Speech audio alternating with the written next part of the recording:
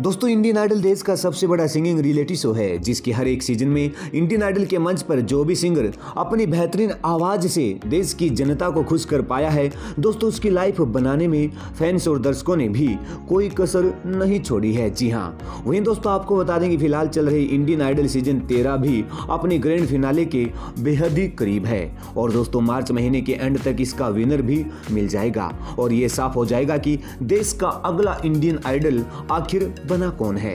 दोस्तों बता देंगे शो का विनर जो भी बने, वह न सिर्फ़ विनर होगा, बल्कि दोस्तों, उसकी विनिंग प्राइज मनी जानकर आप भी हैरान रह जाएँगे। जी हाँ आखिर शो के विनर को इस बार क्या प्राइज मनी मिलेगी?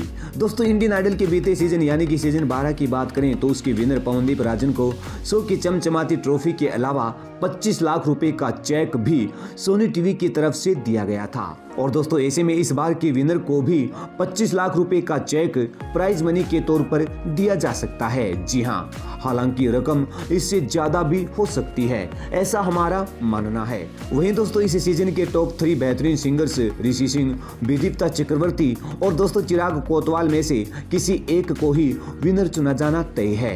और इन्हीं में से जो भी विनर होगा, वह चमचमाती ट्रॉफी के साथ साथ 25 लाख रुपए की भारी भरकम रकम भी जीतने वाला है। जी हाँ और दोस्तों, साथ ही साथ एक चमचमाती कार भी। तो दोस्तों, शो की विनर नेम को लेकर आपका क्या मानना है? And thanks for watching for more update से सब्सक्राइब नाउ